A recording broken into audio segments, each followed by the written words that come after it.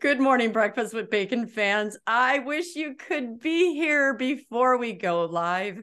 These three faces that you see with me today are bringing such joy to my life, and they would have brought even more joy if you were watching too. So, we cut out the um let's see we don't do anything x-rated we cut out the um r-rated conversation no we don't do anything r-rated either we just PG, cut out the funny PG, stuff pg fun everything that follows is g every yes. g oh we're silly people so we i was so blessed to get these three people on to the breakfast with bacon show because you guys have, have been requesting it. And I know that when I first saw their faces on the YouTube videos about two years ago, 2020, I was captivated by the messages that both Daniel and Mark were doing on their shows, and Christine, with her first co host, was doing.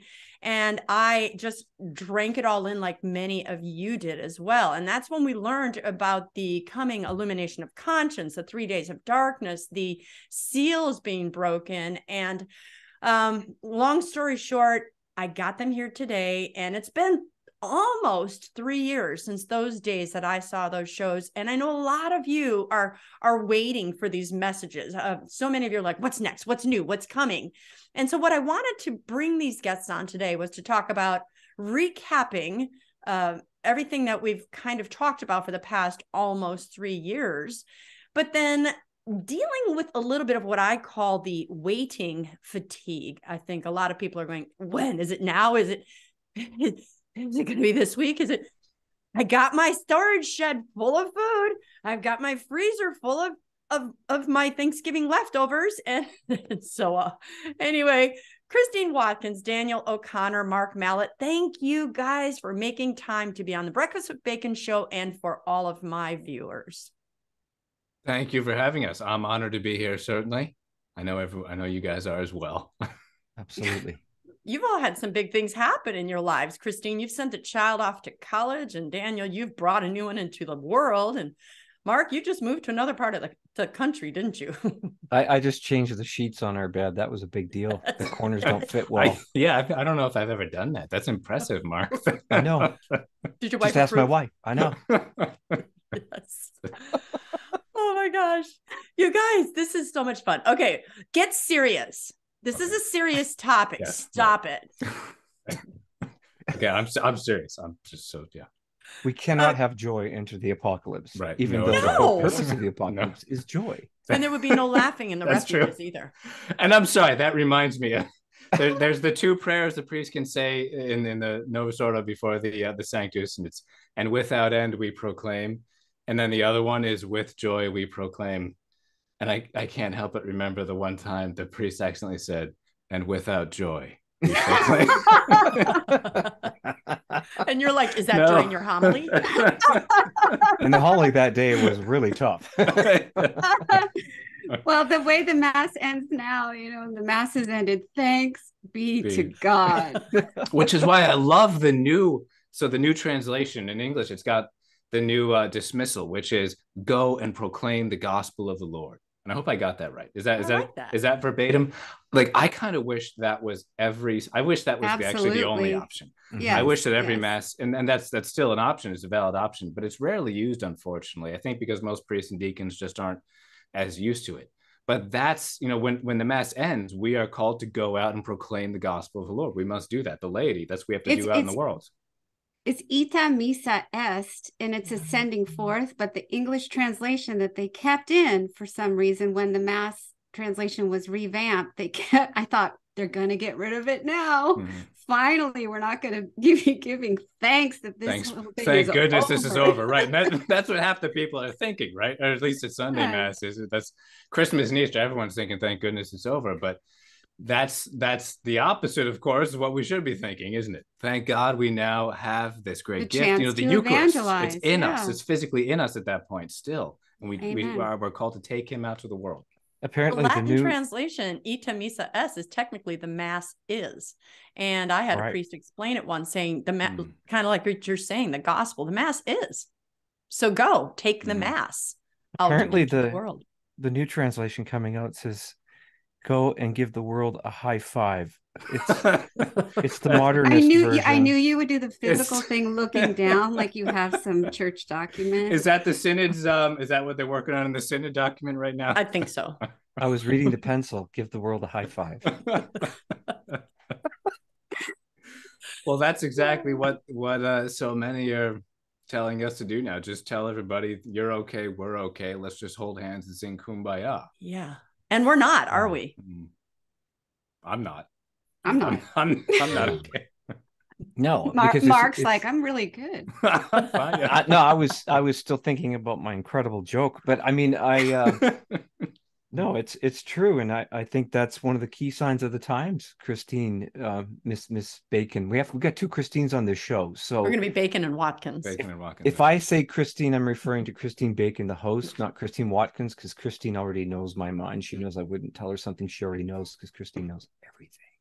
So, no, but um, no, I think that's one of the key signs of the times right now. Is is is this apostasy, which is being expressed in in in the most lukewarm terms. Uh, we have bishops now coming out and saying that you know um, um, acts contrary to the nature of our bodies is is now this is good. This is approved. We need to celebrate these things. Yeah. And it's not just one person. It's not just Father James Martin, for instance. It's now bishops around the world who are starting to do this. So it's it's in some ways though and, and, this comes back to authentic joy. I mean there's there's no need to manufacture joy. When a woman goes into labor it is all of us know here it's a very painful thing for that woman and it's it's hard to watch as a man but as a woman it is hard to go through. And we're at a time right now where we're going through the labor pains but there's also this anticipation there's something yes. new coming there's a new birth coming and uh, you know I, I say to our evangelical viewers i'm sorry but this as, as Daniel puts it, this this eschatology of despair uh, is not right. That that basically evil is just an increase in the world until Jesus says, "Uncle, ah, you know, I try. I mm-hmm. said that the meek would inherit the earth, but ah, it's not going to happen. The devil's too powerful. These elites are too strong. I'm just going to come and end it all." Mm. And that's not mm. what's coming.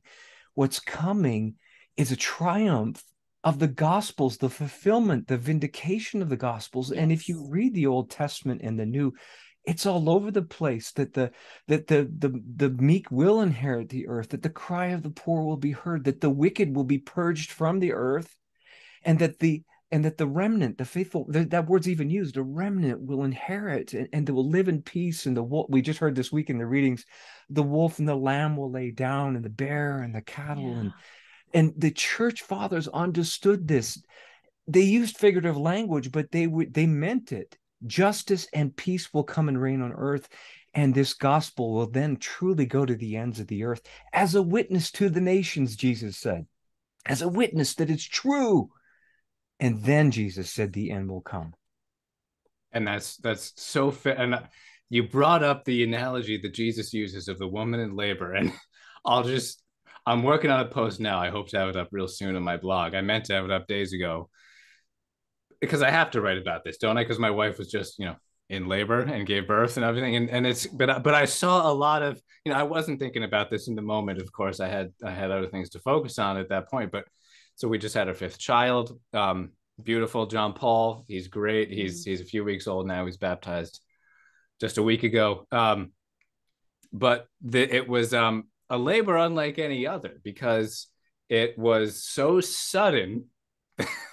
it was so um unex- sudden and unexpected. I mean, mm. it was expected. She's pregnant. We knew that she was going to deliver him soon, relatively right. soon. But just as with the end time, so too with a woman, a pregnant woman. You know, not the day of the hour. We you talk about your due date. You don't know if it's going to happen on that date. It could be it could be quite a range. And I think it's very fitting for a number of reasons that Jesus uses that analogy in the gospel to talk about the end times. When a woman is, la- is in labor, and I'll go off memory now because I don't have it in front of me. When a woman is in labor and she's in anguish because her hour has come, but when the child is born to the world, she forgets her anguish because of the joy, yeah. Something mm-hmm. like that. Yeah. And that's what he's talking about with the coming of the era. Yes, we have the labor pains coming now. But I think about just a few weeks ago when John Paul was born we had this whole plan. You know, we'd call the midwife. We always do home births. Uh, yes, it's it's legal in New York all, and all that. So it's all well done. Uh, we have a midwife come in.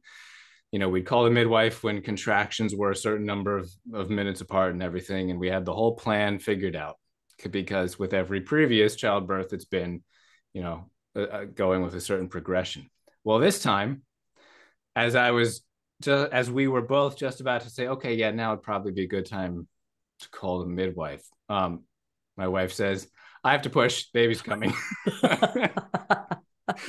so, so it's just me there. Um, and what on wife, earth do you expect me to do about that? in the middle, yeah, middle of the night, all the kids, thank God, they're all the other kids, they're passed out uh, this because it's 2 a.m. or something upstairs. I am not at all ready. I'm not a midwife. I like I'm an engineer and a philosopher. I'm the least qualified person on the planet to suddenly be a midwife. But I did read this. I at least did read this one page sheet of notes the midwife gave us months ago. What to do in case you have to suddenly, you know, deliver a child. And I had read that, so I did. Put aside, like, yeah, it, it was this, like it was right? something. It was something, but like I at least read it. I didn't feel ready because I read that. You don't, and I, I would say that to everyone now. You don't have to feel ready to be ready. You don't mm-hmm. have to feel ready for the warning and the antichrist and, and the great chastisements. You just need you, you don't need to feel that you're ready for everything that's coming to in fact be ready because you are in fact ready what if you repent and convert and pray and trust jesus if you've confessed your sins you're striving to live in his divine will. And we're we're all knuckleheads. We're all working. We all have a lot of work to do i'm sure except the other three here. But we've got so much room to grow but we are ready if we trust him. You've got to not approach the days ahead with fear because what you're waiting for like the birth of a child is the most joyful thing. God he's got it all under control. That is really think, appropriate. Go ahead christine. I think that's the hardest thing. I think that uh, we forget we forget to not focus on results. And we want to control our lives. We want to control the world. We want to control what people are doing. And to some extent, that's good if we're called by God to try to influence a change. And we, we have that divine calling to try to make a change. By all means, we should do as much enforcement of our own as we can. But then there comes a point where we can't control the outcomes. We can't control what God's going to do. We can't control what the evil one's going to do. We can't control what our spouse is going to do. We can't control it. And we have to let go of results. Mm-hmm. People, you know, are are storing food and then they might see that they've got a bunch of rotten food in their basement. People are storing food and they might end up saving their family with it these are complete unknowns and it's very distressing to do physical preparation and find out it was all for naught. But as i think daniel you're saying when we do spiritual preparation that's never going to be wasted. That's never going to rot. That's never going to be a waste of time. That's going to be the eternal preparation no matter what comes. And yes, we're talking about the era of peace, we're talking about uh, beautiful things, but also what's been on my heart and my mind is honestly, and this is tough, we have to pass through a fire and we'll never be prepared for it as much as we would like to be. But are we prepared to meet Jesus face to face? Are we prepared to get hit by a rock and drop dead? Are we prepared for that? And that is a basic, scary question that probes the depth of how our soul is doing right now. And if I can be at peace with dropping dead right now, and I'm not talking about worrying about my, who's going to take care of my kids and all that, that has, we have to leave those things up to God.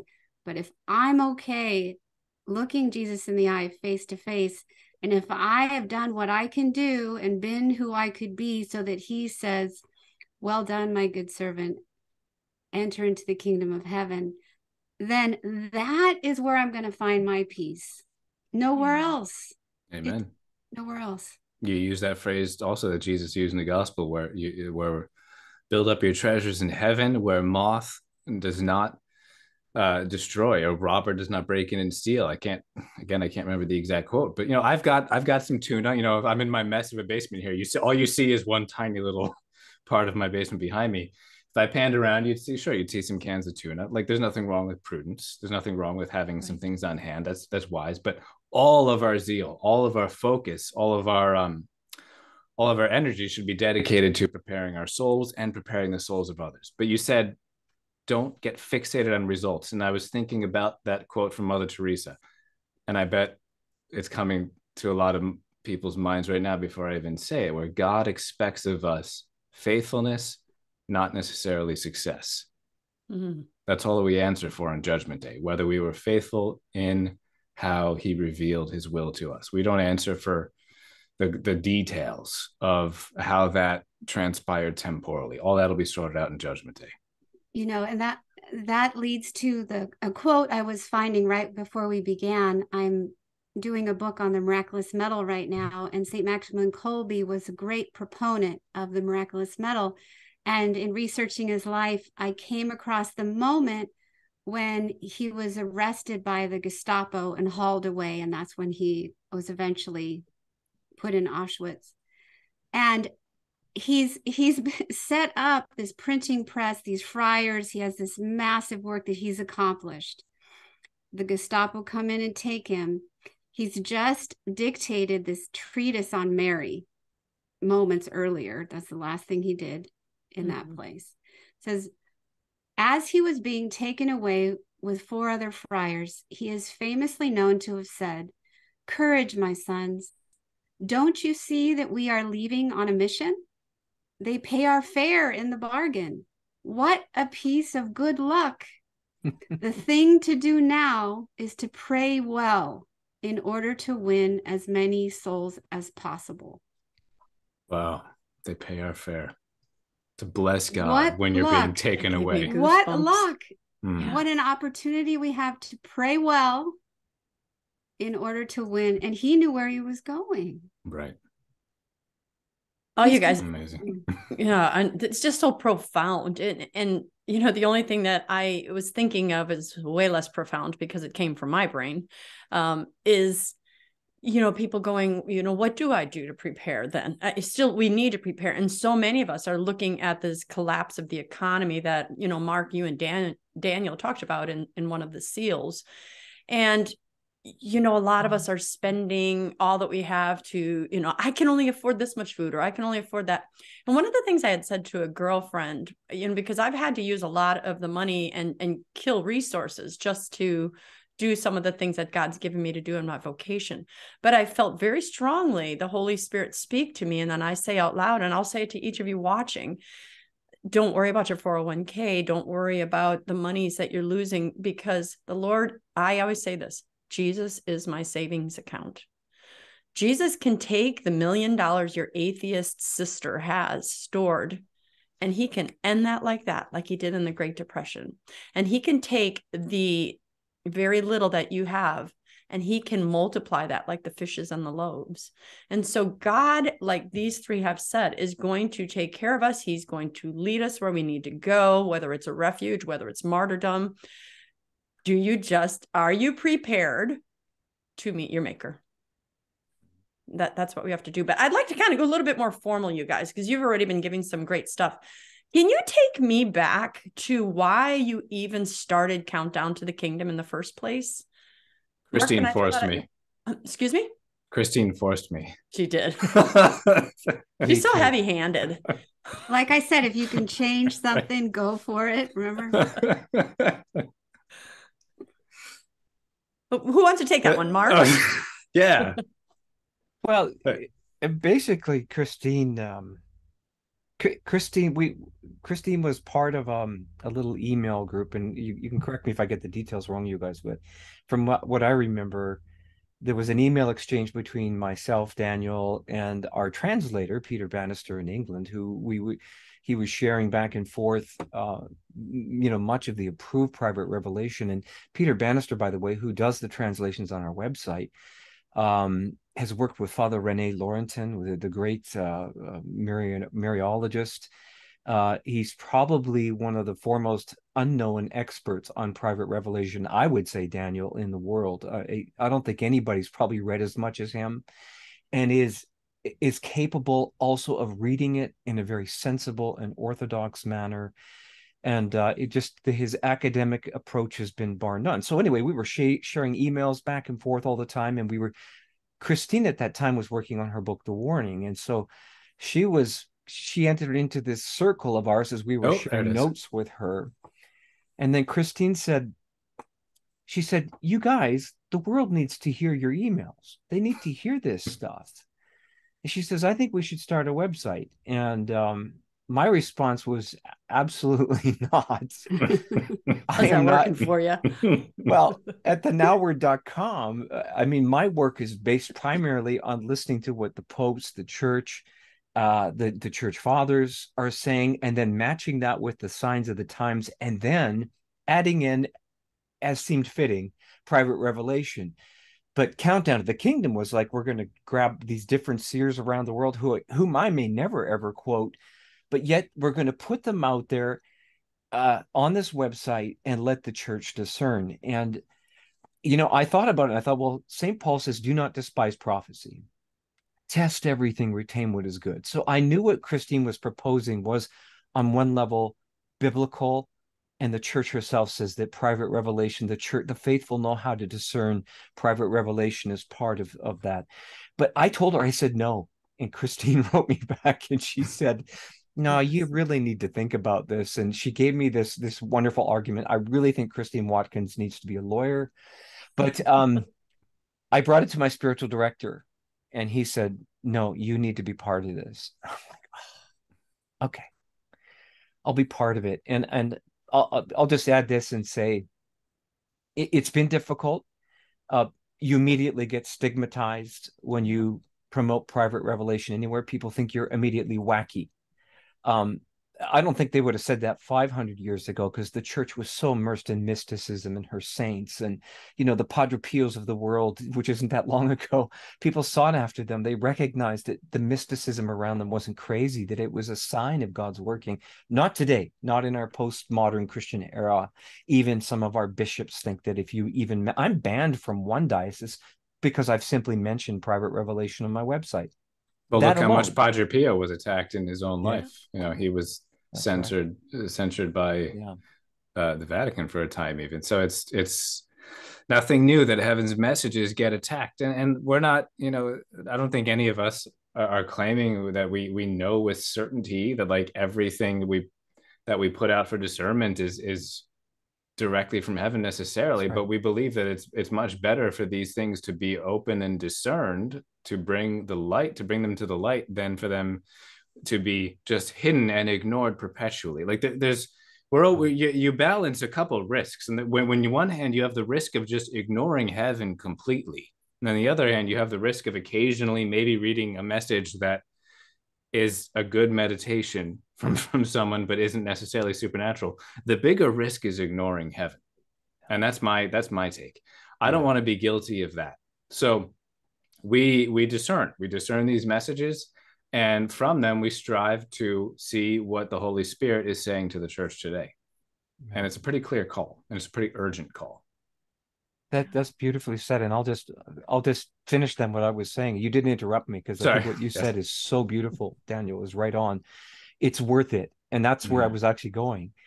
It's now looking back three years from now and the hundreds of letters, like I've, we've lost count of emails, letters people have sent of not just people thanking us for giving them, them information, but people telling us, and I'm not exaggerating, I've been converted through that website. God is doing something beyond just the messages when God, if God is speaking prophetically to the church, and He is, then there's always something in between the lines, and that's called the power of the Holy Spirit. And that is something that that none of us on this team can measure. And we only hear about it now in the letters from priests, from laity, from around the world, saying that I have come back to the church. I've come back to my faith. I'm now bringing my family members. They're now reading you. This is why I haven't left Countdown to the Kingdom. And I, I'll be honest, I have been tempted many times to say, this is too difficult. It's too much work. It's too complicated. Um, it's much easier for me to remain insulated. But at that point, that's a very selfish thing because we're seeing the fruits, and I, I think Christine and and uh, Daniel would testify to that as well. The, the, the fruits have been just amazing. Yeah, and if you look at how it started, that the the timing of it also seems to testify to God being in charge of how these things were happening. You know, we no kidding. I looked back in my email uh, recently just to try and remind myself of when this conversation started and correct me if I'm wrong, but I believe it was December of 2019 we started planning out yeah. starting mm-hmm. this, and that was before anyone had ever heard of COVID. Mm-hmm. There, we were still at that point. We were still basically in the same general era, yeah, that that we had been for the last couple decades, and yet we had this sense that this is not going to last, and we better try and get heaven's messages out to more people than they've ever reached, and that's what we tried to do and I think the, the, the messages have been reaching more people than they than they have before, uh, thanks to many, the efforts of many people, not just Countdown, of course, but but we're trying to be part of that. And suddenly, we actually get the website up when the Feast of the Annunciation in 2020, a few months after we had you know a lot of background. Which is March 25th. March mm-hmm. 25th, and that was exactly when the whole era changed. The C word. That was when out. all of the all of the lockdowns, all of the sh- like all yeah, and obviously we can't go into great detail about some things here, but that that's when just everything we took for granted in the decades leading up to that point was gone. And we're right now we're in this we're in this twilight zone where a lot of people who kind of followed prophecy for a while they're given this opportunity to pretend it was all nonsense. Like mm-hmm. it almost seems like things have gotten back to normal, and that is a lie. That is a facade. Nothing has gone back to normal. Nothing ever will go back to normal. This these last several months, they've been like an opportunity for those who listened to the prophecies for a while but never really decided where they stood. They've been an opportunity for them to just say, "Oh, that was all just nonsense. It was all just exaggeration or or sensationalism or just a bunch of celebrity seer prophets or whatever that's all a bunch of detraction and slander from a bunch of frankly hypocrites they this if you don't see that we're still in it that god in his mercy is giving us a window here to get his will out to get his word out.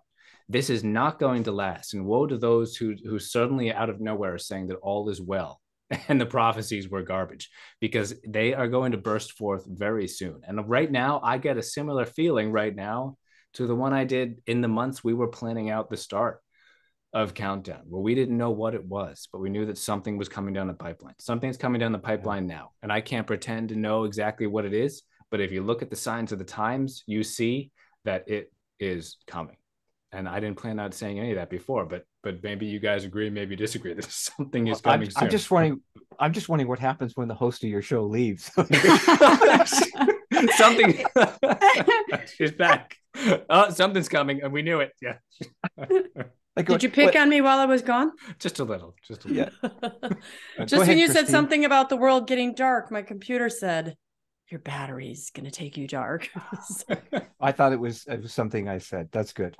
I was completely offended. and, well, I've seen the same thing you have, Daniel. That there's a complacency and doubt and a sense of, I told you that everything was going to go back to normal, and now mm. it's gone back to normal. And what that doesn't take into account is what's going on behind the scenes. And yes, it really is behind the scenes or denied because there's some stuff that's absolutely out in the open, upfront, and evil. And another, I feel like it's people's psychological mechanisms of coping that's having them not take it seriously because mm-hmm. some of us, all of us, can only handle so much. Right. Mm-hmm. We also have differing degrees of belief in whether there is such a thing as evil.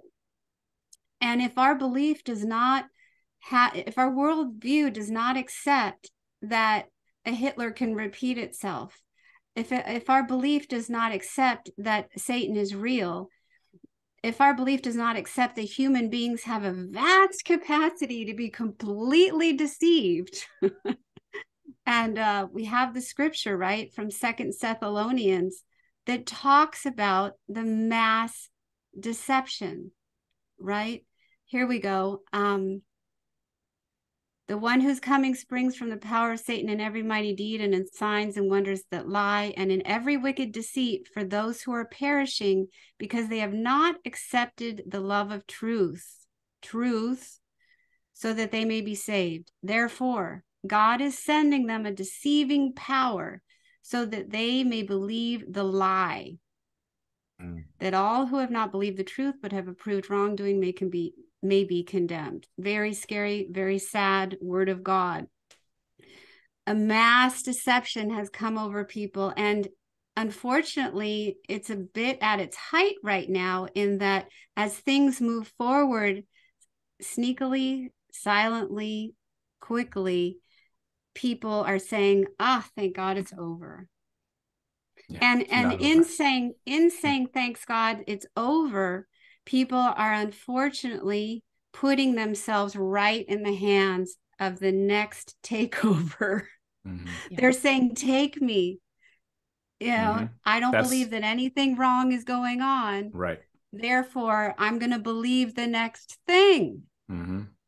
It's exactly. so dangerous. And, so and, diabolically dangerous. Mm-hmm. And and what is the next thing? We've just heard it come out in the news. The leaders of the G20 nations all met uh, in the last few weeks, um, and they have all agreed to a digital ID system that will be implemented around the world. And tied to that, they said will be your ability to travel, your vaccine status, and in that in that conference, at either the B20 or G20, it was all part of the same summit.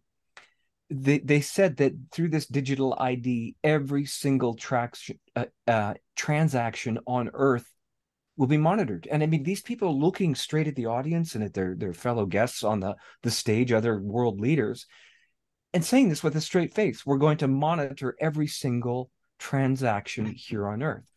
And therefore, what we see right in there in that yeah. nutshell what we see is a system that's being established tied to your vaccine status that you cannot buy and sell w- with without meeting their a standard of what it means to to meet their standards and it may not only just be your vaccine status um it most likely will be your social credit score.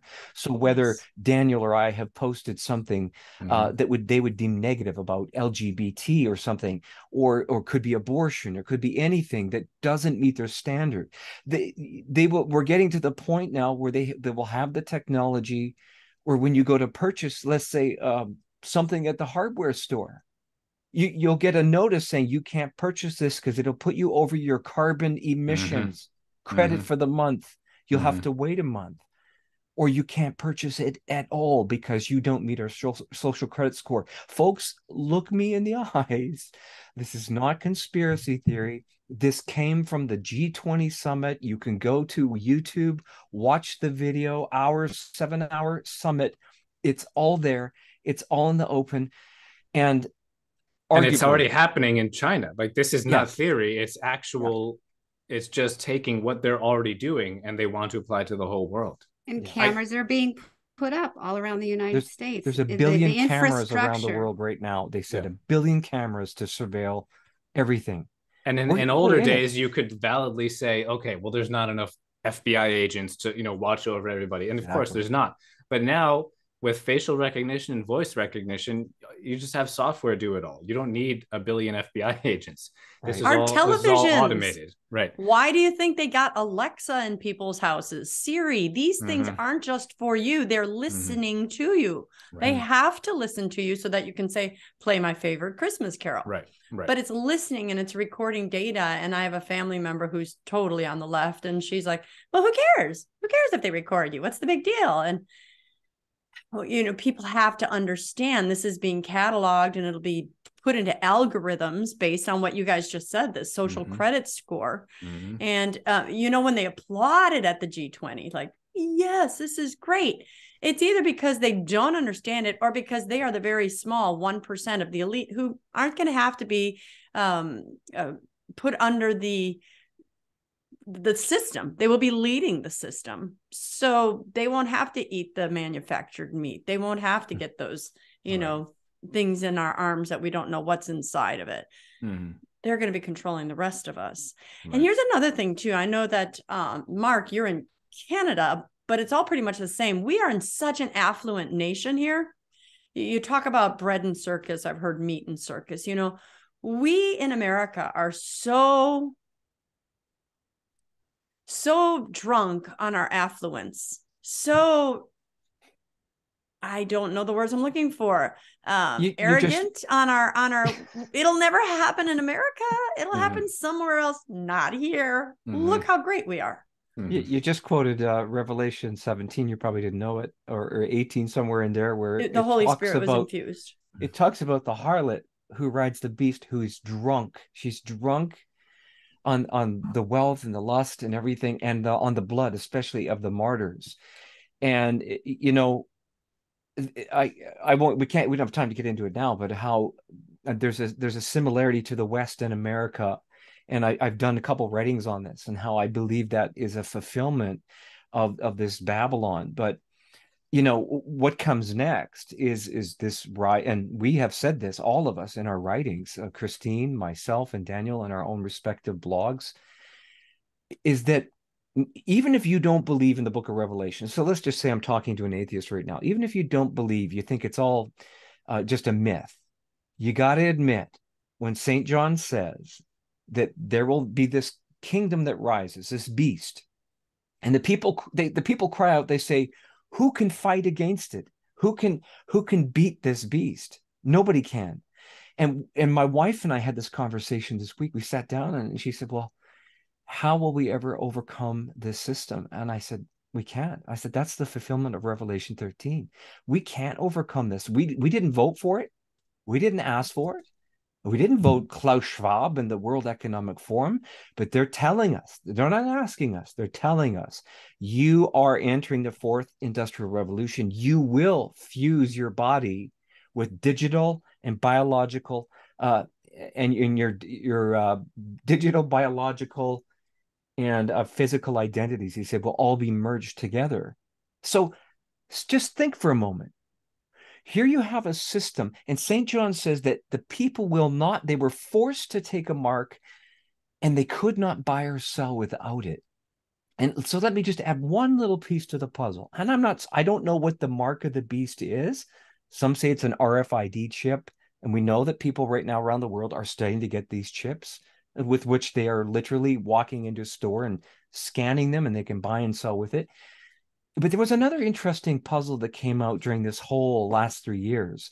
It was MIT and another group that were, because St. John says that the mark will be stamped on your skin.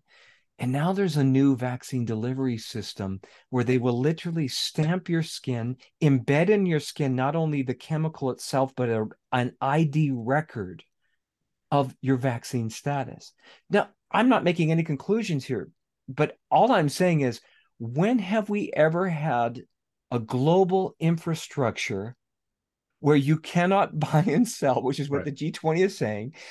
And you may require, and you will require, because you require your vaccine status to be up to date, you'll require some kind of mark. And all I'm saying is, even if you don't believe in Revelation, you have to admit St. John here has a bit of a bullseye forming right before our eyes. Yeah. I mean, pretend, pretend for a moment it's a work of fiction. You know, we love looking at works of fiction, don't we? Of even the last century and seeing how prophetic they were. Think yeah. about 1984 and Brave New World and things. Lord of the Rings. Yeah. Lord of the Rings, even. Yeah. Okay. So just pretend for a moment that the Bible is merely a work of fiction. It was clearly written because it's been quoted for the last 2000 years. So that, that was written 2000 years ago. And try and just imagine a society where what that foretells is fulfilled. I, I can't even imagine a more literal fulfillment mm-hmm. of what was prophesied there than what we're actually seeing happening right now. Not not maybe happening decades from now, but being rolled out as we speak. Yes. So if you're waiting for some sort of an impetus to believe that that these are the times, I don't know. I don't know what you're waiting for and I, I fear that people are going to buy into what the propaganda is going to be. And it's going to be that this is exciting, mm-hmm. innovative, clever, helpful, useful, cool. Uh, in Europe, you know, the people getting the chips say, I'm a cyborg, I'm a cyborg. The youth are, are getting excited about it. We're going to have fancy ads. We're going to have cool music. We're going to mm-hmm. have, I don't know, um, video games you can play at the touch of, of something. It's going to be touted as the latest and greatest. And people who are, I, I hate to be so pessimistic in this regard, but now as I say this, I know a lot of people are listening and saying, Yeah, I'm not going to be fooled by that. No way. I get it. I get mm. how I am not going to be manipulated. And then they show it and they show it again and they show celebrities showing it and they show show scientists showing it and they show uh, technological experts showing it and they show happy happy happy people with their toys and their food and and their luxurious or not so luxurious i don't know if anyone's going to have luxury at some point but they have a nice car and they have a nice house and you can't get any food for your kids it's so sub it's so subconscious it's and, and some of it is so overt but those who aren't paying attention have no idea. Here right here in hampton roads virginia for those of you that don't know it's it, this whole norfolk virginia beach area it's called hampton roads all these cities together. There is a billboard well it's not there now but about a year ago there was a billboard i would drive by that literally said you will own nothing and be happy i don't know if anybody who isn't paying attention to all this stuff even knew what that meant but the message went in. Mm-hmm. and so we are being you know led to the slaughter. Take me to your leader. You know just like the old zombie movies we used to watch back in the you know early 70s the really cheesy movies but and i drive down the road and you know i'm a huge we are a huge sports fan we got i'm right here if i turn my camera around i've got my green bay packer milwaukee brewer milwaukee bucks the wisconsin tree wisconsin badgers mm-hmm. and i've had it for years because everything used to be like, oh my gosh, we can go to the game. We're excited. As much as you know, that's I want my home teams to win. Danny and I don't have the excitement that we used to have. It's like we don't. There are more important things to worry about. It's like yeah, if we can get tickets, it's it's, it's like the Lord has allowed it to be dulled mm-hmm. from the yeah. shiny well, that it used that's true and that's why i think the last few years mm-hmm. have been mm-hmm. kind of a boot camp for the faithful for what's coming mm-hmm. in the years ahead yeah. where if your heart of hearts, uh, sure, maybe you went to mass on Sundays, but if your heart of hearts was in the sports games and the restaurants and the social events, then you would have readily just signed on to whatever they said was needed to continue doing those things. Yeah. Mm-hmm. Yeah. And God, in those last few years, is saying, Do you care more about your conscience or do you care more about all this worldly stuff that you get excited about? Yeah and that was a test and if you failed that test you're not lost but you better be careful to make sure you don't fail the next one because the next one there might just be no going back from it and the yeah. next one is will you embrace the mm-hmm. cross yeah mm-hmm. so will you hug it will you kiss yeah. it and that is hard because what does that look like right? I mean some of us have family members who are dying and some of us have health issues and some of us have um you know financial some of us have you know houses burning. Some of us have so many things that we say yeah, I'll, I'll take it for you jesus. I'll, I'll suffer for you. But oh my god not that. Right? I think gotta give him a blank check. Yeah. give him we a blank well, check. there, that's there's, awesome. there's a reason jesus said when the son of man returns will he find faith on earth? And, and he also said that even the elect may be deceived. And my wife and I we we were praying together this morning and after the prayer we were talking about this and I said I said darling I said none of us including all of us sitting here right now none of us can take our faith for granted because we're in the middle of what is a manufactured famine and they're telling us. I mean, these these people these politicians these global elites whatever you want to call them you know they set the house on fire and now they're crying out oh the house is burning. And so we're going to have to just take the whole house down because the house is on fire and we just right. need to let it burn. It's maniacal what's happening. Those of us who are watching, I've you know, I've as I've said before to my readers, I've had to put my journalist hat on again over the last three years and and go back into what is going on here. But they they started the fire. They're now burning down the house and saying, "Oh, we're sorry. the The food supply chain is going to be broken." And, and now they're saying, in the midst of this, we're going to cut the fertilizer on the farmers, as they're doing in, in the Netherlands right now and Canada, and they just did in Germany yesterday. So that's going to affect our food supply. Oh, it's too bad, you Bummer. poor, poor people. um, so this is all coming, and and and now what's and also bird flu. Oh, you one of your eight thousand birds we tested has a flu. We're going to have to call the whole herd, and so now we've killed more birds this year than we have in all the callings together this this is a record we've sent. So there's that. And now we got mr gates saying that we really need to get rid of all beef and we can go to synthetic beef which the fda just approved. I mean people you can learn cons- to like it. You can yeah, learn eventually you can like learn it. to like it. And they look at us like we're conspiracy theorists when we talk like this. Everything i've said to you is in the news. It's um, it's out there. If you look for it now i should say in the news it's out there in truth and reality but we are in the middle and see this is what's interesting the scientists and the doctors have been groping some of them to try and explain what has just happened the last three years how people are going blindly along with this entire narrative and thinking everything's going to go back to normal even though we just heard the g20 tell us what's coming. And they use the words like mass formation so psychosis. They call it a disturbia. But we know what it is and christine just said it earlier in the show it's the beginning of what St. Paul called this strong delusion. For those who refuse to believe the truth, God sends a strong delusion. And and let me just say this this is what's been so sobering for me this week. And I've been fighting discouragement. I've been is that I can't change people's minds. And I'm seeing now that after three years of everything that's happened and nothing of the medical interventions, none of them worked, that people are still lining up and thinking that they're going to work and and losing their freedoms. And what i'm seeing is exactly what bishop sheen said. He said the world will be split into two camps. And we're seeing this right now. And what we're seeing is yes. good catholic catholics we know who are going to mass and, and we, we you know they have a good level of faith totally on that side. And i know some of them will be offended. They'll say how dare you say that i'm part of the strong delusion? And all I'm going to say is, I'm sorry, but you're basically signing into a global cult. And I'm not using that word lightly. This is a demonic deception, ultimately, at its very core, is demonic. It's a global cult. And it's so hard to get people out of a cult. And this is, I think, why the warning is coming. What's the, the warning? warning? I've yeah, never heard of we that. We need it. We need it. yeah. And that's this this illumination of conscience because because people are, these catholics the good people who are being sucked into this because they because they think they're doing it all for the common good. They need to be shaken and out of god's mercy.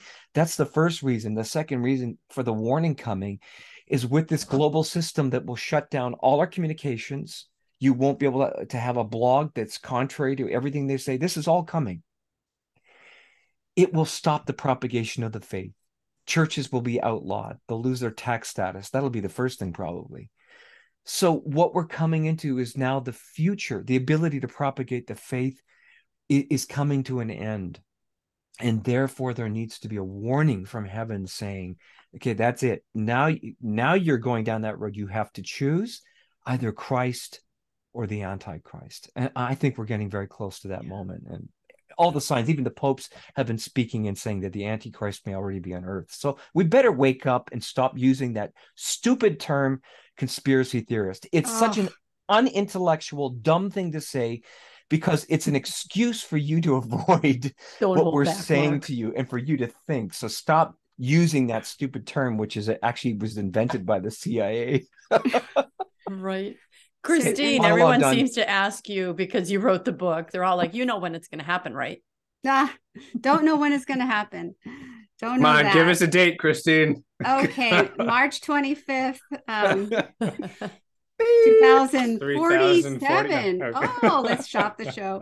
Uh, so, what are your thoughts, Christine? I mean, so, based on well, everything you studied to get that book and what the Holy Spirit was saying to you, and actually, let's get a plug. The movie is going to be coming out very soon. Yes, next year. Um, uh, it's called The Great Warning be a movie and i'm going to do a second edition of the warning book that has even more seers some approved by the church with the imprimatur that spoke about the warning. I found six more with Peter's wow. help, Peter Bannister, whom Mark wow. mentioned at the beginning of the show. Six more extremely credible prophets of the warning. So the the the abundance of prophetic consensus and knowledge of this is astounding. It's and we have priests, we have Father Chad Ripperger, we have um, Father Chris Alar, we have Father Mark Beard publicly on their YouTube station saying, "This is I believe in this. I this believe is biblical. This happen." They're saying it's biblical. Well, they're saying and, and that they believe, and they're personally yeah. willing to put themselves on the spot and say, "I believe," and and that's all of this is new. It's becoming mm-hmm. it, it, you would never think that the warning well i never thought my husband told me you know five people are going to read your book and that's going to be it. It's going to be this little thing. That's that's all who's read it right? Just husbands are just, so just encouraging us four here and, and I, husbands are so encouraging. Like, oh. so uh, I thought it was for a fringe element in the church. It would peter out. It's in 23 countries and now going to be a movie. Why? Because of uh, anything I did? No. Holy Spirit movement. Holy Spirit saying, I want the world to know about the greatest event of my mercy since my son became flesh. This is massive. This is a moment in time when darkness will cover the earth, then it will be suddenly lit up. The cross will be in the sky from the wounds where Jesus was nailed to the cross. Bright rays will fall on the earth into every single human soul, whether they be atheist, whether they be young, whether they be old, whether they be a believer. And every single person, time will stop. They'll be completely focused on their inner life and shown in a matter of just a few minutes their entire life in light of their sin they will know without a doubt if they were to die right then where they would go heaven, purgatory, or hell. They will also know there's a God. They will have no excuse of not knowing there's a God. They will have no excuse of not knowing their sins. Hence, this huge act of mercy because the world goes around saying, I didn't know there was a God. I didn't know that was a sin. You got to remove that that that invincible ignorance before the great events start if I had no, mm-hmm. if I had n- never read a single prophecy of the warning, I think I would, um, I, I, would nevertheless conclude there must be such an event. So, so at least there must be some final, final chance. God is infinitely good. We know that, and yet we know the apocalyptic events of the Antichrist and so on. That we know that they're coming because it's promised in public revelation in Scripture. So, what therefore would God do before that? Well, he would give everybody, everybody without exception, a chance to choose the right side. How can he do that other than doing it directly? He can't just he can't just ask any one of us to do it because we'll never reach every single one of 8 billion people on earth. You know, thanks be to God that the warning is getting more exposure now. But I'll just make a prediction right now. I hope it's not true, but I don't. I, I I think that the vast majority of people on Earth will never hear about the warning before it happens. I think that the reason this is getting such exposure now in God's in God's plan is so that those of us who know it's coming can prepare ourselves to be the new evangelists after it comes. There's every city on every village on this planet is going to need uh, at least a core of people ready at a moment Minutemen, like ready to just explode out there evangelizing the second it happens. The only people who are going to be ready are those who knew it was coming and prepared their souls accordingly. Or, or the living saints who were just always by default ready. That's great, but most of us, you know, we can we can use this this special encouragement to get our souls ready, to get our plan in, eh, ready to be the greatest evangelists in the history of the church. In that pause, what Mark has, I think, accurately described as the eye of the storm. After the warning hits, this utter inundation of God's grace like never before seen in history, we need to be ready to take advantage of that the very second it happens because that period of time that we're going to have to take advantage of it is probably going to be pretty short. Human psychology being what it is even the most extraordinary events the, the repercussions of that they only reverberate in someone's psyche for a few weeks several weeks maybe people are those who will not take advantage of the graces of the warning mm. that mini judgment they're going to wander back into their old ways probably after several weeks if we don't gather them in yeah.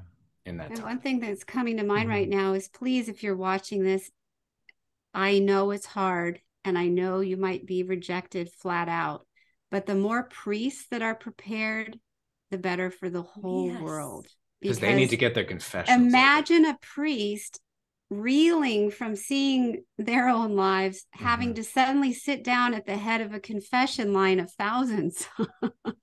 so hand them the book. They can at least look at the back cover and say, hmm, I don't know about this. At least a seed was planted, right? At least a seed. Or they may be like one of these priests and saying, look at all the, you know, the mystics, the saints many of whom have had the imprimatur, who were told by God about this event. Mm-hmm. Look at the signs of the times. This may happen in our lifetime. So, okay, I'm a priest. Maybe I'll really take my soul seriously as well and think about how I would handle such a situation and not and, be shocked and reeling and and and needing to tend to myself after even, such an event. even more than that christine and I, I, you know i think i shared this with with your viewers uh, christine on the on your last program but i can't remember. Is is there's uh, there's people might be going wow if this is so huge. Wouldn't it be in the bible? I agree. In fact you know i as i i've shared with people years ago i heard this this word in my heart. There's a great storm coming upon the earth like a hurricane. And a few days later i sat down i opened my bible to revelation chapter 6 and I, I sense the Holy Spirit say in my heart, this is the great storm. And so, uh, for those, especially the evangelicals, who have your, this your is Bibles yeah. If you and read Matthew Revelation 24. chapter six, in chapter one, you you or the first seal, there's seven seals that are broken. So I'm just going to whip through them real fast. The first seal is this rider on a white horse who has a crown and he he wins victories. Um, one of the popes said he felt that was Jesus, or another saint said the Holy Spirit. We're living since the early 30s, somewhere, uh, we're probably in Fatima, we're living in a time of mercy. So we think that might be what that seal is. The second seal, a rider is given a, a red, a big, huge sword to take peace away from the world. So we can make all the arguments right now with nuclear weapons being loaded right now that we're very close to that seal being definitively broken. The third seal, this one I find extraordinary. Uh, when I wrote about it, I, I used the words it's inflation because it, he describes this seal and you can only buy so much with with a denarius you know so much wheat with a denarius we're living right now in a moment of incredible hyperinflation around the world. Right. The fourth seal, more sword, famine, and plague. And now we're seeing more viruses coming out. They're they're naming the common cold, giving it new names and everything, scaring everybody. And we're seeing anarchy in the streets. We're seeing murders increasing quite a bit actually in cities since the whole pandemic started you get to the fifth seal. It's persecution. The martyrs underneath the, the altar crowd how much longer? And the lord says a little bit longer. And then you hit the sixth seal. And if you read it what the people sense everybody it says princes to paupers cry out. They think it's the day of judgment but it's not. They cry out. They want the rocks to fall on them. Something happened and this is interesting christine because you mentioned the cross in the sky. They cry out that the that the lamb the wrath of the lamb has come. And if you go back two chapters st john when he saw the lamb he said it looked like a crucified lamb. Very interesting. It's the christ crucified one of the seers jennifer that was on our website said the cross will appear and from the wounds where christ's wounds were there will be light flowing to the earth for a short time. And then comes the eye of the storm, the seventh seal. I remember I was reading this and going, well, if this is the storm, there's got to be an eye of the storm. And sure enough, what does it say? The seventh seal says it's broke opened and there's silence in heaven for half an hour. And then the next chapter, in between the sixth and the seventh, rather, what do we read? The angels go around the earth, marking the foreheads of those who are the servants of God. And God even tells them, don't, no chastisements, don't touch the earth, the trees, the water, nothing until you've sealed the forehead. So basically, chapter six is all about chaos coming, some sort of chaos coming upon the earth that's, I believe, mostly man made. And we're seeing that today. It is mostly man made, culminating in this supernatural moment where people have to make a choice and then God will mark their foreheads. Before then, the ultimate chastisement comes, which we believe is, is really the person of the instrument of purification will be the Antichrist. I'll, so I'll read. Yeah, that's what we've got. That's what we've got to look forward to. Yay! but glad we started the it, show with laughter. but, but it's a message of hope Short. because of what comes after the Antichrist, which is the pre- predominant theme in these prophecies. I mean, above all, heaven, of course, but the preparation for heaven, which is the era on earth. It's going to happen. It's guaranteed. Those I believe that if you persevere, you can see it with your own eyes. Hmm. It's quite striking, Mark, to just Um, so it's Revelation 6, everyone, verses 12 through 17. And St. John says, Then I watched while he broke open the sixth seal, and there was a great earthquake. So we have many prophets talking about an earthquake accompanying this. The sun right, turned yeah. as black as dark sackcloth. Many mystics talk about darkness covering the earth.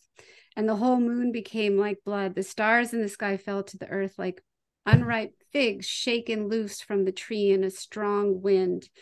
Then the sky was divided like a torn scroll curling up, and every mountain and island was moved from its place. So we have a sense of lots of manifestations on the earth. This is this is the wake up call.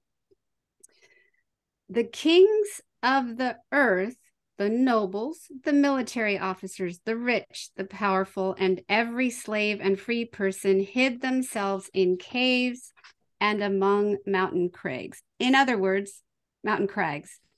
Everyone. So whatever's happening in Revelation 6, every single person is affected, and there's shame. There's a, a sense of, oh, I don't yes. want to see this. this is not easy to see. They cried out to the mountains and the rocks, Fall on us and hide us from the face of the one who sits on the throne and from the wrath of the Lamb, because the great day of their wrath has come, and who can withstand it? And how many of us we've experienced, I believe, every single person on earth with a conscience has experienced a moment where our sin is exposed, or we've mm-hmm. said something or done something stupid, and someone calls us on it in person or in public, and we have to stare at it, or we have this illumination of a sin inside of us, and we think, oh, have I done? Or we see that we hurt someone and it hurts. So, this is a person's entire life being shown them and looking at the lamb as mark said and wanting to to hide yeah and they're not even hiding it's they're saying they're they're begging the boulders to fall on them which is like saying please kill me kill instead me. of instead of letting me see my sins because that's yes. the truth if you knew how horrendous sin is a- any physical pain would be far preferable to the infinite the infinite evil of a single sin against an infinitely good God. Mm-hmm. Now, thanks be to God, you still have a chance right now, watching whoever you are watching yeah. whatever time or day it is, you still have a chance to get all that sin wiped clean through confession. And then, even if it is brought up in the warning, it'll be brought up in a completely different light. One, one of, one not of shame, like unforgiven, unrepented sin, but of, but in a different, more glorious light. And there still might be some purification to do yet but but it'll be completely different. You will be so prepared if you just repent. Bring it to confession. You know right now bring it directly to god yes but bring it to confession as soon as you can. Jesus can wipe it away instantly easily but you have to be willing. You have to be willing to let go of those sins so many people I know, um, Christine, I'll get to you in one second, are always like, I can't wait for the warning because then my you know divorced spouse will see the mistake he or she made and then and i can't wait for my alphabet soup child to see it because then they'll know and and we're always i'm seeing a lot of people talk about this person that person that person i can't wait for them to see. And what occurred to me i know recently i was in church and i started bawling because i thought of the sins that i've confessed and that i that are in my mind but then it started occurring to me i'm 57 years old what about all those sins that i've forgotten and I have to look at even those. I'm like, oh, I didn't even know that was a sin. Oh my gosh, I forgot. I think we need to kind of reset ourselves and realize it's not going to be easy on us who are prepared. And mm. and I say that not to scare the heck out of you, but technically yes, we should scare the hell out of all of us, right? But to say, live your life in a way today that is worthy of this calling, that is worthy of you having known about the warning. The, the harsh words that you would say to your spouse or the the um, cutting someone off on the road road rage all of that is not going to be forgotten by god. Live your life worthy so that when you stand before god on your warning not even judgment day yet right that you can go oh, lord from the moment i found out about the warning i tried to, to, to not sin at all in the slightest ways so I just kind of wanted to put that out there because this show isn't just for everybody else, because all you guys watching it already know about the warning. Let's kind of reset ourselves. Absolutely. I would, I would, just yeah, add and, to oh, on top of that. We oh, keep oh, sorry. Christine. I just off. wanted to mention to oh, not oh, get ahead, away Christine. from it. For those of you who want to read more, uh, look at Matthew 24, 29 verses 29 to 31. Speaking of the warning. And then uh, Father Jim Blunt surprised me and started reading parts of Psalm 97. And mm. you'll see the warning in there, which was very interesting. I can read that later if you want, but I don't want to interrupt you, Mark. Today's collect had a reference to the warning, but continue, Mark. Oh, I, I was just going to say uh, on top. I just that, really want to say. I'm just kidding. Yeah, I'm yeah, gonna interrupt you too, Mark, because everybody else did. So not not just to prepare in a sense uh, you know, like preparing, like I got to make sure I got all my sins confessed, and I'm I'm so scared that I might have something I forgot.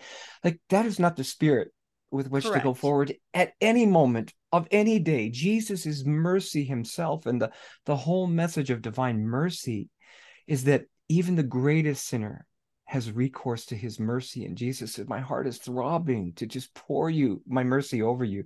That's the heart of Jesus. Jesus isn't coming like, You better be have your ducks in a row because the warning might kill you. You know, um, I think another thing is coming with the warning for those who are preparing, and that's going to be like a new Pentecost. Oh. Great blessings are going to come upon those who are preparing, which is why I believe our Lady has been saying, form these cenacles, upper rooms, all around the world is to prepare your heart because she, her heart is imploring, as she did 2,000 years ago in the upper room, for the Holy Spirit to come with a new outpouring on the church. And I believe what is coming is going to be a great outpouring of the gift to be able to live in the divine will. I think that's going to be one of the prime graces. And it's not going to be so automatic because we still have to live in virtue and be faithful and and desire to live in the divine will. But I feel that there's a great grace coming in which the kingdom of God will descend in a new way in believers to begin already living in the air of peace that will come in its fullness after the death of the Antichrist. So it don't just think of it see I, for me i'm i'm anticipating the warning. It's like i don't want to miss those graces. That's why i'm preparing. Yeah. i want to fast and pray because i want to receive those blessings. And if you weren't in the upper room in in, uh, in jerusalem you weren't there to see the fire fall. You weren't there to experience that first outpouring. Now when peter went in the streets he he proclaimed the gospel and they spoke in tongues and 3000 people were converted that day. So it's not like others won't have the grace but there's an initial grace that God's want to give. And I want to be one of those apostles that goes out to the people and and and proclaims the good news rather than be one who's caught off guard and, and be stumbling around trying to figure out what's going on. So that, that's yeah. all I wanted to add. Yeah, we don't want to miss this extraordinary opportunity. Mm-hmm. And that's so positive, but at the same time, thinking of my kids, it's also the greatest threat because like a kid will in terms of punishments for you know you have to punish children when they misbehave of mm-hmm. course. The worst punishment for a child is missing out on fun. And and right, i'm not trying to make this i'm not trying to make this you know about just fun but you, you are being invited to be one of the greatest evangelists in the history of the church yeah. by being prepared for the warning by having your soul ready to meet the lord.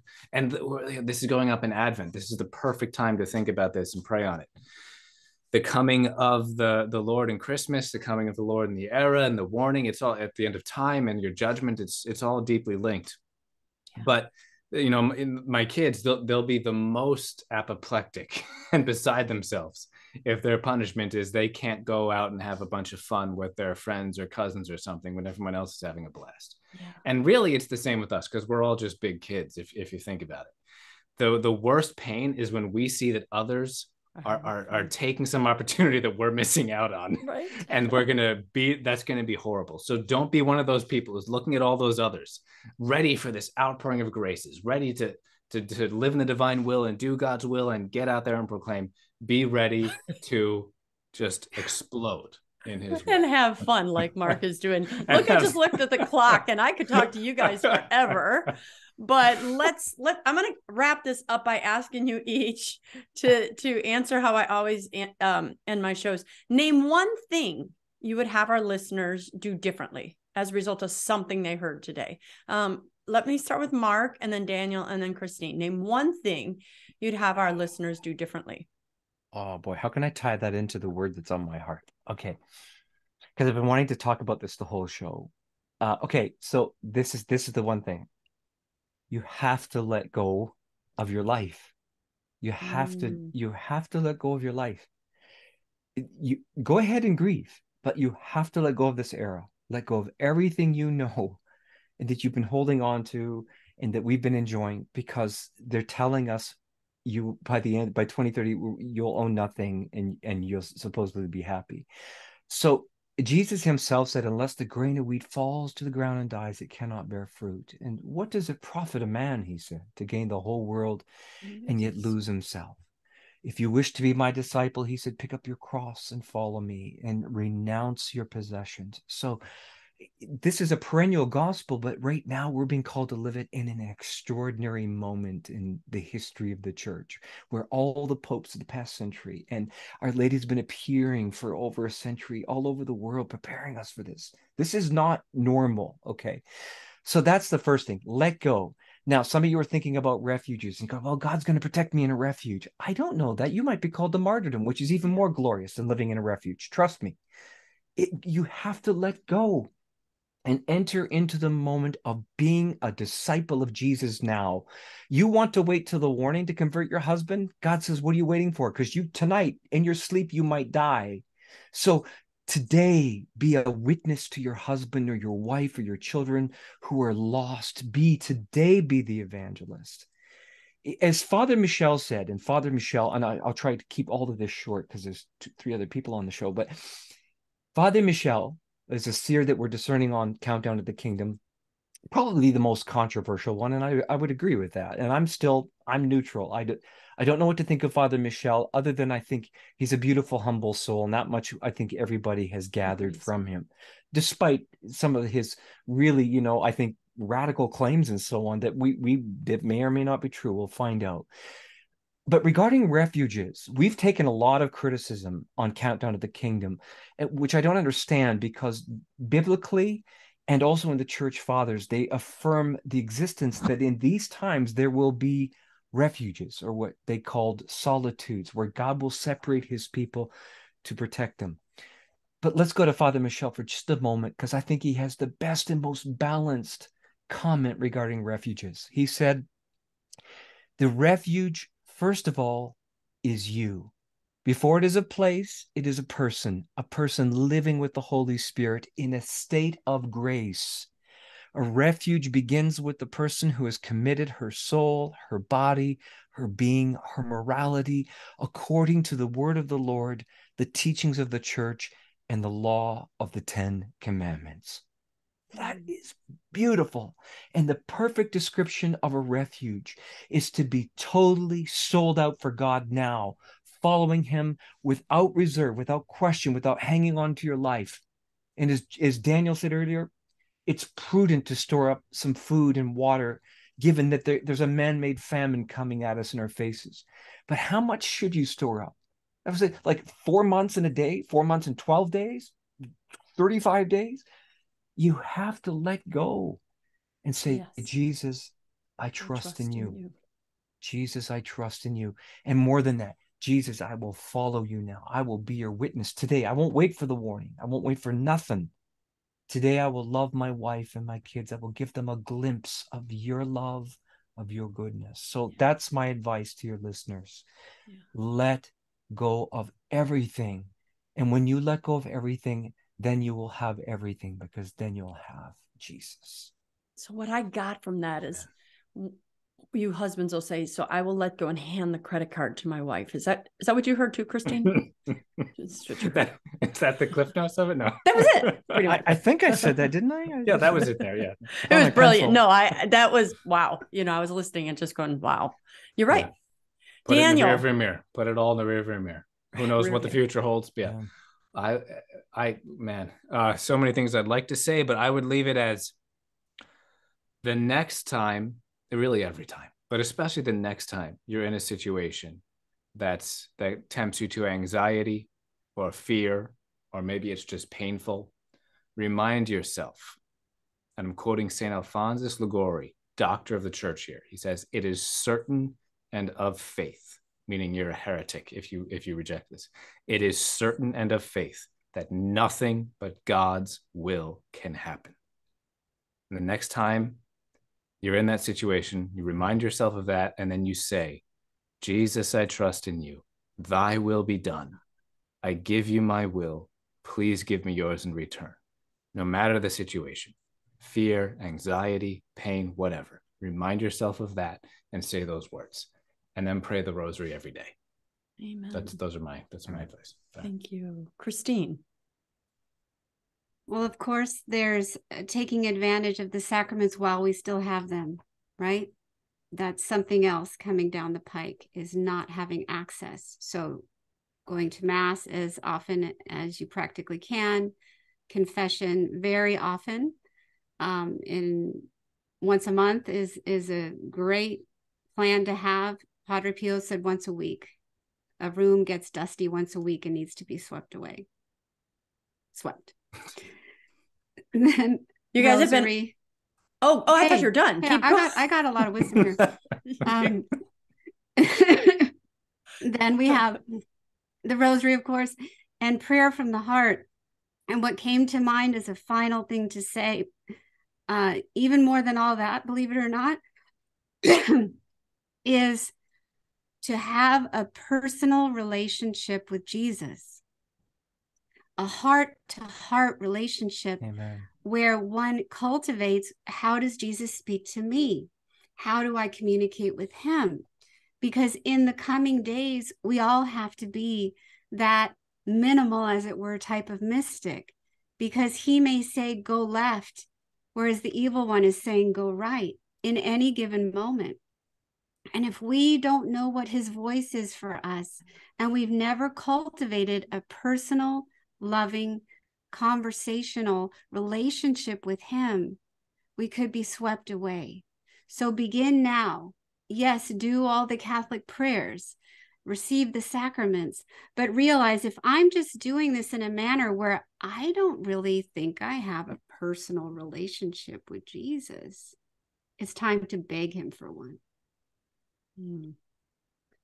This has been amazing. And I would love it if we could do this again sometime because there is so much more that I know you guys wanted to say. And I know my viewers will be just thinking, thank you. Thank you for the food. We have to be community. We have to feed one another. We may be small, um, but I know all of four of us hope that we are part of God's remnant. You know, I, I I beg God that I am in that that group. But we want to encourage all of you to just keep going forward to just keep your eyes fixed on jesus to you're going to make mistakes you're going to miscommunicate you're not going to hear things correctly but if you are keeping your eyes fixed on jesus and every day doing you know uh, what well all of them said but lord give me your will give me your direction let let me i always say lord give me the graces give me the graces to do your will because right now, if you leave me to my flesh, I'm failing. So, um, we're going to put all of your websites at the bottom of here so everyone knows. I know for me, I'd love for you guys to share the show with as many people as you can, breakfastwithbacon.com.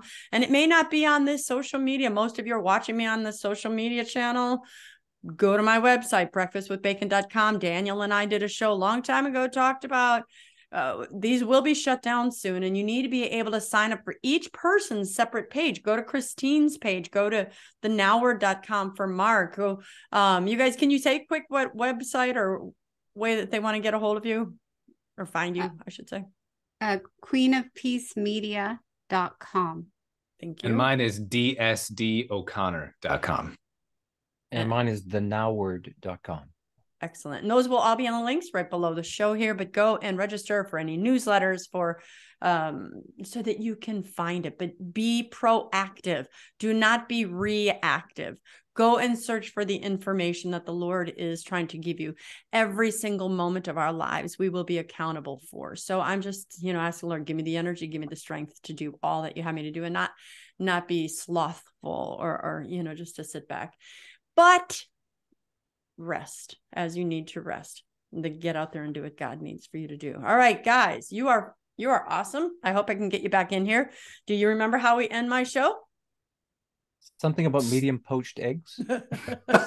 we're, scrambled, we're scrambled. hard hard boiled. No. High okay. five to the world. high five. High five to the world. Christine poached eggs. and you know, when I was pregnant with my first daughter, I'd hold my belly and people would say, what are you going to name it? And I straight face. Well, if it's a girl, I'm going to name her middle name Anne and her first name Eggs, Eggs and Bacon. And people would go. I kept a straight face as long as I could. I was like, Eggs and no. Bacon. I love it. Yeah, but on that note, I am it. Dr. Christine Bacon. You've been watching Breakfast with Bacon, and I'd like to remind you always to live your life sunny side up what he said. Daniel wins.